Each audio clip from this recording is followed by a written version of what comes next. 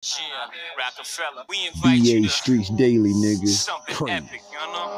Something where we hustle out of a sense of hopelessness, sort of a desperation. Feds after us, vest on my back, ripping the Agabus, feel like a Mac bustin'. A brother question on percussion. I bust in your gate, nigga, it's nothing. A hailstorm, ice raining, mind containing, info. Nigga, what you in for? Complaining. Six bars deep in this language, yet I tell you how my day spent. Speaking through the face of Ronald Reagan. Iceberg history, calligraphy, kaleidoscope colors, hollow head shells and fleeing gunmen. Hate to see me coming like gray skies, your day of judgment. judgment. Makes you wonder where the love went. Hit a nigga, feed him to some buzzers.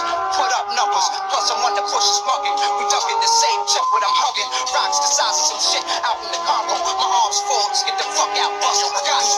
Through that desperation, we come addicted. Sort of like When I was young coming up, you either wanted to be like Michael Jordan on the highways trafficking drugs. But even though some became all Americans for scoring baskets, all of them won't get drafted and some gonna have to come back to the slums. And I can just imagine how bad they have to be for 'em to go from being a starter back home to become alcoholics and bums. And what I write reflect my life. This all just didn't come to me at once. And all you street niggas can tell by what I talk about that I either been involved with it or just seen a lot of narcotics one. I remember the first time I fired a shot at someone. That's when I realized the one with all the power be the one behind the guns. So ever since then, I ain't went without one. I got enough common sense to know the outcome if I get caught and don't got one, nigga. Crazy. Yeah. Uh huh.